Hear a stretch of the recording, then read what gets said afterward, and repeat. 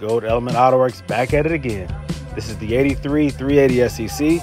As you can see, I have 18 inch staggered AMG wheels. Beautiful. And now I'm adding tail lights and on the way are clear front marker lights.